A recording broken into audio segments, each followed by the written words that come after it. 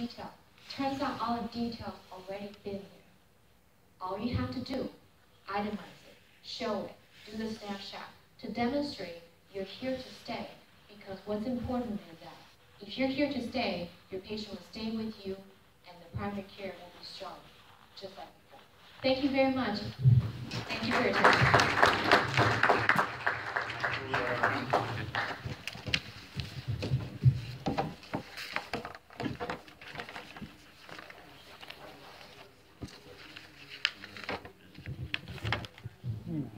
Okay. so- Thank you. so Our next speaker is uh, Dr. Lewis Friedlander. And um, uh, he'll present uh, methods of diagnosis and treatment of ophthalmic artery stenosis and anterior ischemic optic neuropathy.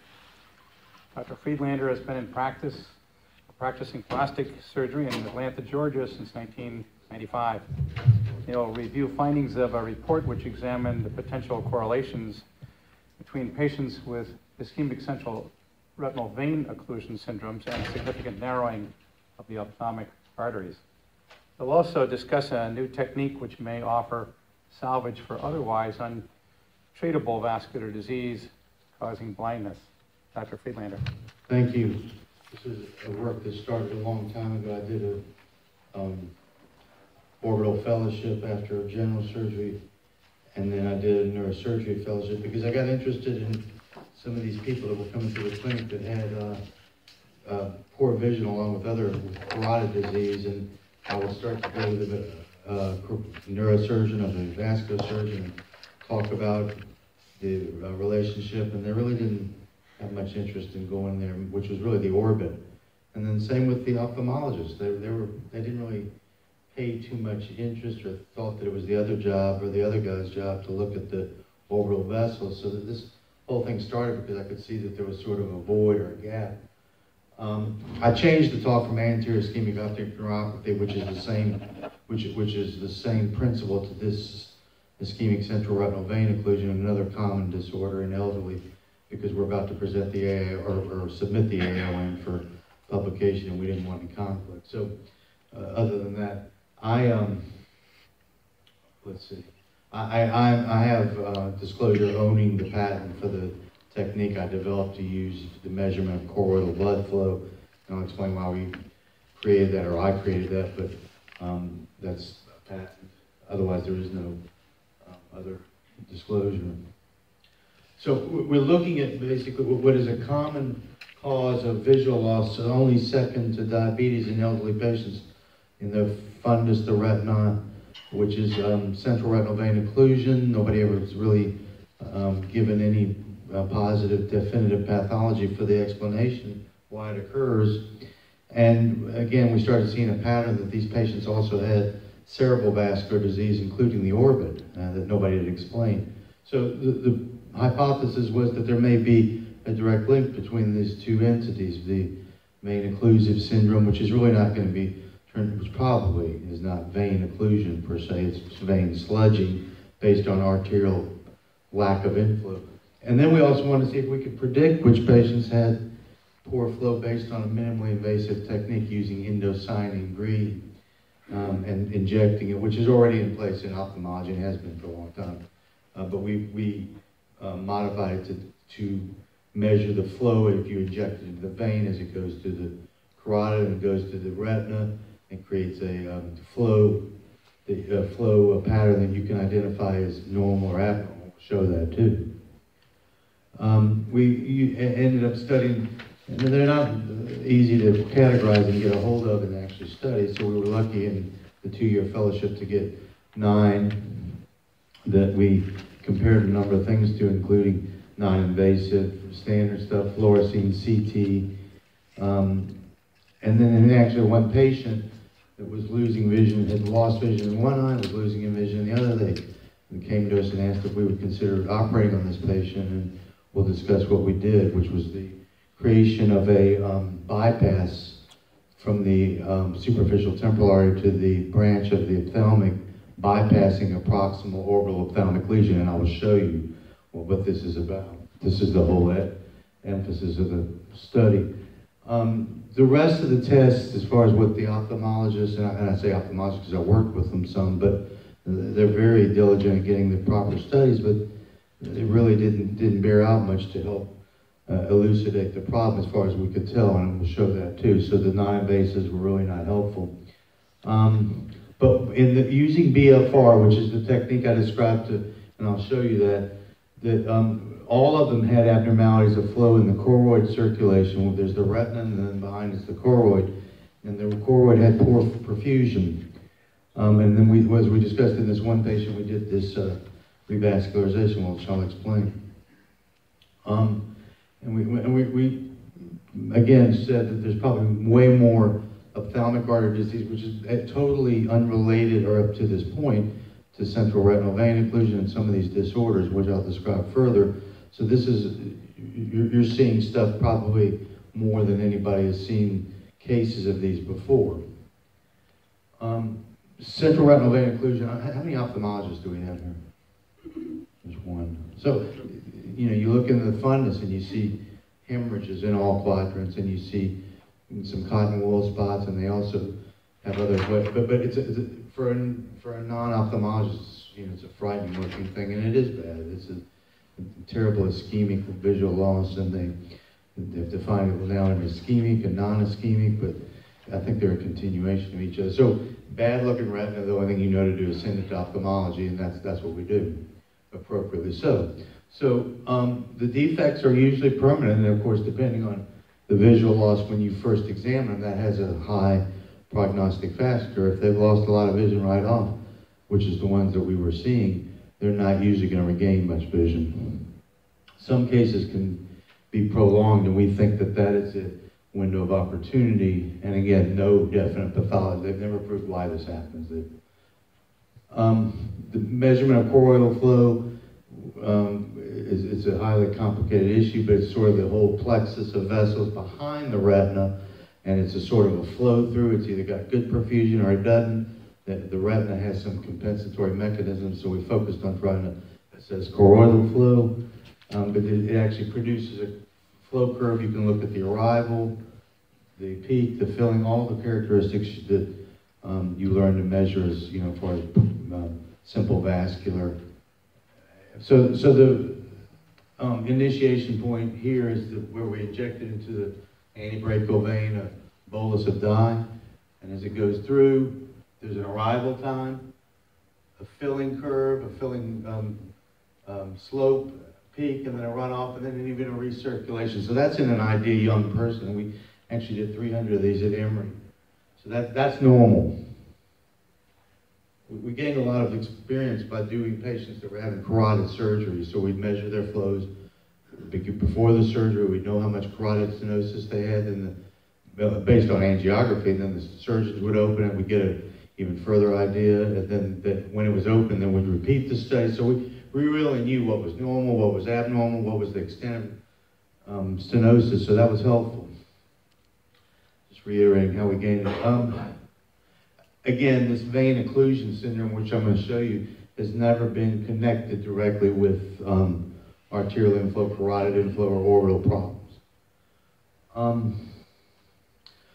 This, this focuses on looking at the ophthalmic artery in the orbit, which is old literature and not much new literature, because again, nobody's paid attention. So you have to look at the details of it to say, just seeing an ophthalmic artery doesn't make it normal. So I'll show you a lot of examples of not normal, but I'm first going to show you an example of normal. So this is right at the carotid comes up into the neck, intra, intracranial portion. The first big branch is the ophthalmic artery. It goes out, and then it gives ciliary arteries, which is the smaller branches. Then you can see a choroid blush, like the um, back of the retina. That's that's the behind the fundus. There's multiple arrows, and then the other smaller arrows show the branches. All those branches have to be there. I mean, that's a normal. So, again, unless you read radiologic literature, they just usually see a big branch and they go, it's okay. So, because nobody's paying attention, it hadn't been correlated. Um, so, in these patients, they're having apoplectic visual sudden and progressive, or sudden and stable, but they've lost vision. Some of them, some of them have a little pain. Some of them have redness. They have um, afferent pupil defects. So there's the um, optic nerve head is also affected. So they're, they're, they're straightforward classifications, but they have to have the whole, all of the eye, not just part with blood and thunder or the blood and hemorrhage. Um, the, the, the hypothesis is that we saw, I saw, a common place where the ophthalmic artery was narrowed. It was at the very beginning.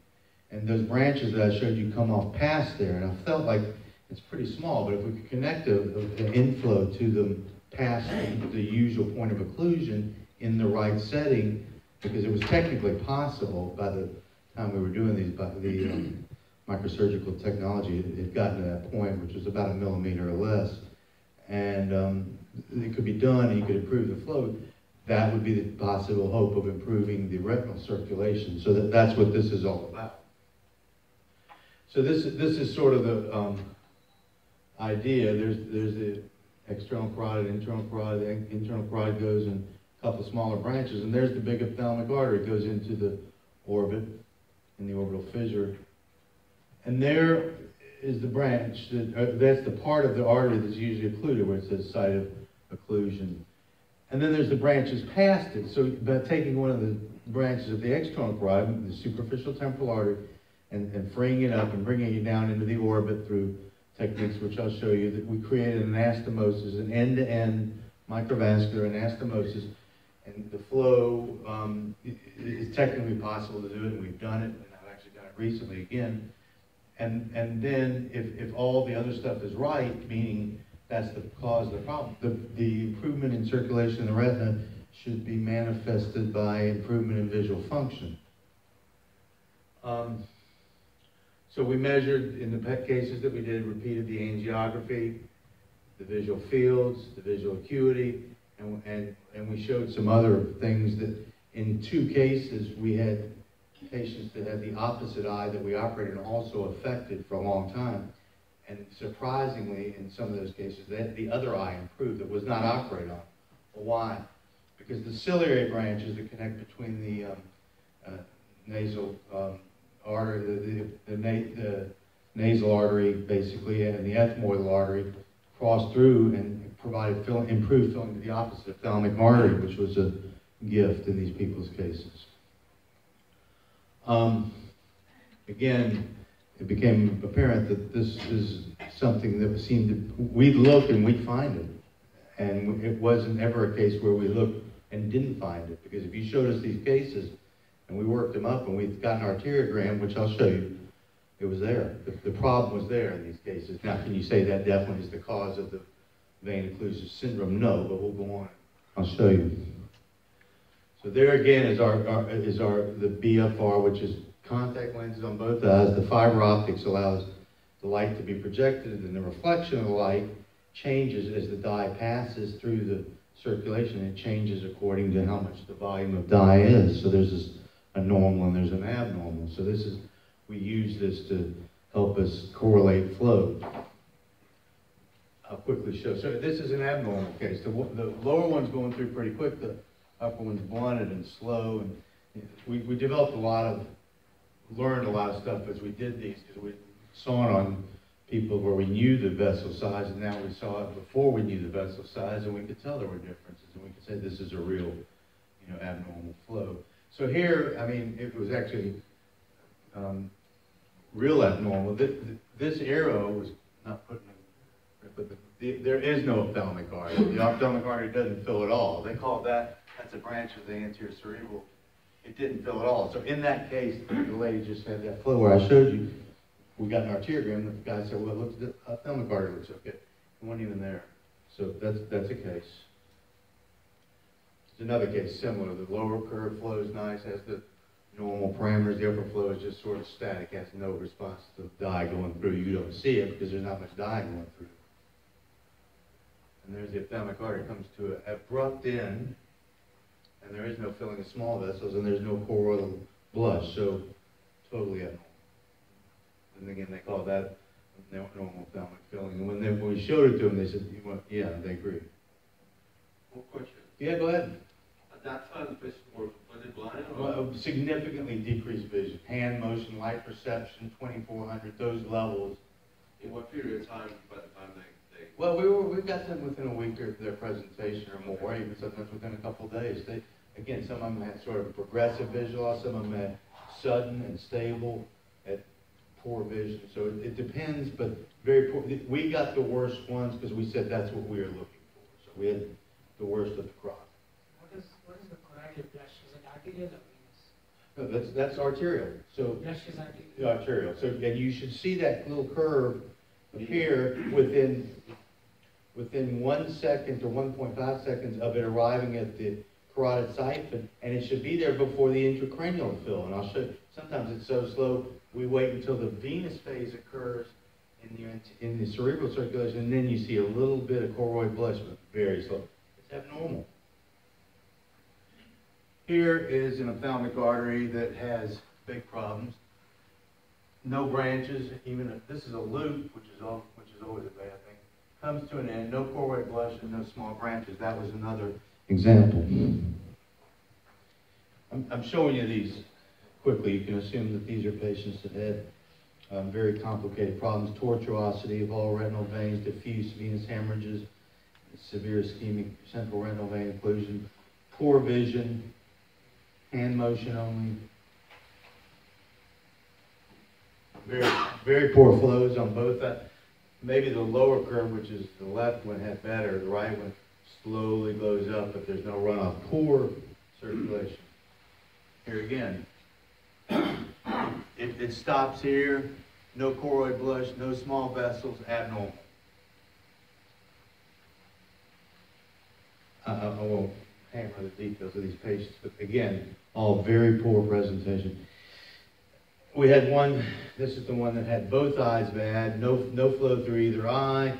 He had exist, pre-existing central retinal vein occlusion syndrome and diabetes in the other eye, and now his only good eye was going bad, so they asked if we would look at operating on him. That's the other side. Both sides, can we go back? Let me see. Let's not go back. Can you go back one? Yeah, so, okay, let's look at this like, like this, like the diagram shows, right at the beginning, there's, there's narrowing, no flow through there, very poor flow there, no, almost no branch and no core, no choroidal blush, all bad. Same on his other eye. The big branch goes through very few filling and no choroid blush, so all bad. And again, nobody's paid any attention to this till this day or, or, or when we looked at it first. So here we go. Bad flow, so here's the operation. Here was, here was our idea, or mine. We, and I got the neurosurgeons to help me, so they were excited. This is a coronal flap. You, you guy on his back, you um, open the, these are little Raney clips, and you leave the periosteum on. This is above periosteum, below galeum. And when you turn this flap over, it's not quite that nice, but you're, you're using a Doppler and you're finding the superficial temporal artery, which is a branch of the external carotid circulation. So it goes like this. You can feel it. You, know, you feel it.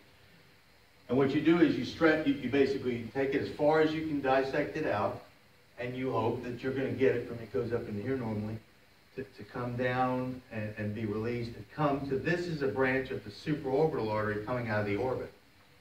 So that's what I, that's my attack site. That's the one I'm trying to hook to.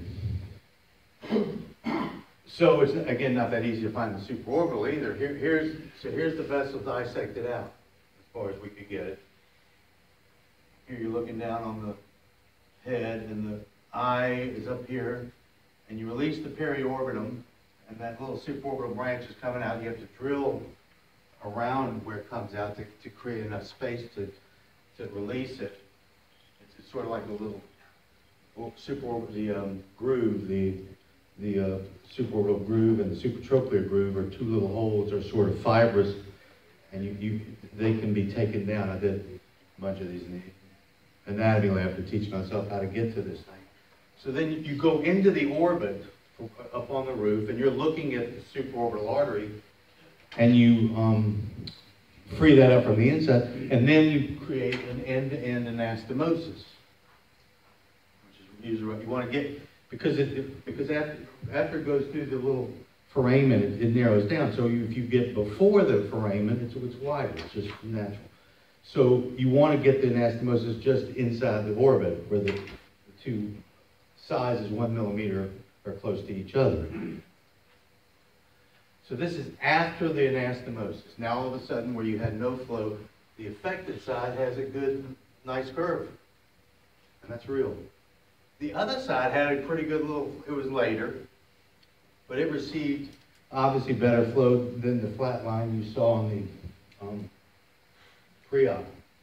So we didn't pay attention until after the surgery, and then the patient reported an enormous improvement in the affected eye, and we said, I can even see better on my other eye. He got measured, he went from 2400 or hand motion to functional, 2070, 20, I mean, you could see some details. So this was as bad, the, the other eye that had not been operated, the, other, the good eye had dramatic improvement in visual field, dramatic improvement in um, uh, visual acuity, and sustained for a year.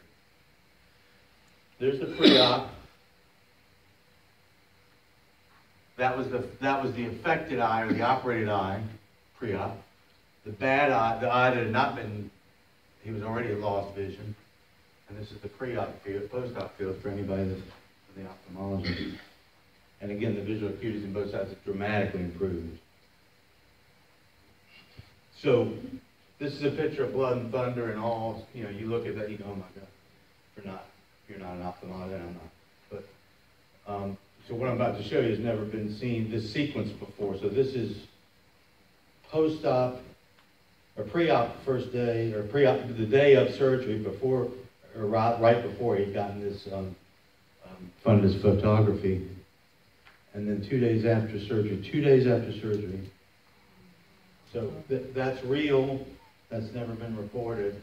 Um, but that, that, now this is the other op, so no, minimal blood, um, much better. That's the affected side. Pre-op looks bad, they've done laser, again, diabetes, those are those little white marks, they stay. Much clearing of the blood, almost dramatic. The, the little laser marks are in the same orientation, but now you can see the um, vasculature in its normal pattern because much of the blood is already resorbed that quick within a couple days.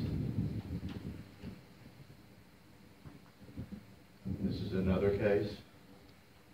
Some difference in the flows, but a big bad look. So again, and this will be the same thing over and over purposely being repetitious because again, nobody's appreciated this. No choroid blush, no minimal fine vessels, just so again, most people when they read it first, they say the ophthalmic artery reads okay. They're just doing their job, but they're really not studying it. Even macular edema was improved in one case. Another abnormal BFR flow. And almost a dead occlusion right up the inter, there's the carotid siphon, there's the ophthalmic artery, and right past that point, it just stops. There's no small vessels, there's no choroid blush. But this is one that they say if they see the ophthalmic artery where the arrow is, they don't go much past there in describing it. You mentioned, uh, did any of these cases, the patient have too? Macular edema It's a oh. little bit different, but that's, that's on the road to macular degeneration. This is a carotid case, and, and he, this patient had been losing vision along with TIAs. When they corrected the carotid, we looked at the, but the vision didn't improve much. And here's the, here's the ophthalmic artery, and here's a blow-up of it, and it just never got better, and that's because he has ophthalmic disease. And even though they improved the carotid filling and the carotid defect, the, the vision kept going down after the carotid endarterectomy, and this is why. You, you're never, you're never going to get past that obstruction. So is this atherosclerotic obstruction?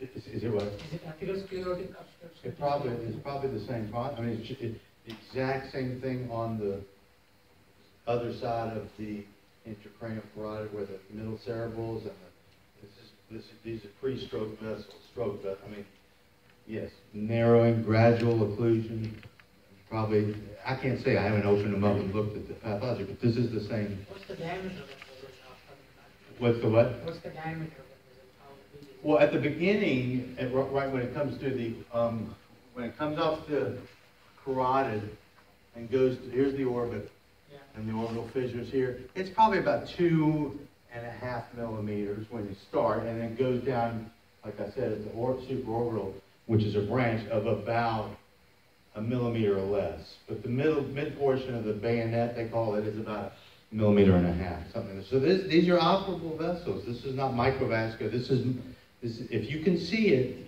you can operate it. Can you stent it? Say it again? Can you stent those? Can you put in a Stent stent? I, yeah, I think you can. Nobody's ever done it. But, but I mean, I think that's, that's the next step. Yeah, I mean, that would sort of take away this deal, but, but at the same time, that would be pretty good. But you'd have to understand the ophthalmic artery, you'd have to, you, you, you'd have to, I mean, again, nobody, even if you show all these pictures to people, they're saying, well, you haven't proved that it's caused that. And you're right, I haven't proved it. This is a handful of cases, but I'm showing you what I got, and this, this, this is where we're starting. Um,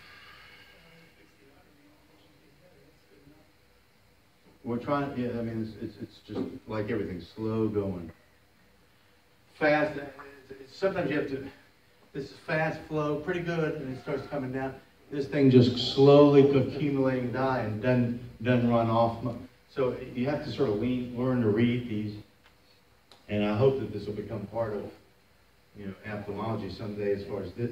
they've used indocyanine green, but not in this context. Indocyanine green is used to measure lung flow, liver flow, some other areas, and they use these curves similarly to assess the path, the flow through or wash through uh, perfusion. So this is not a new concept. Go back to the stent question, the stent question. The, the smallest is two millimeters, Is it? I don't know. No, I, I, I was supposed to, I asked the question, what? I don't know, I don't know that, that how, I think it may be a little smaller.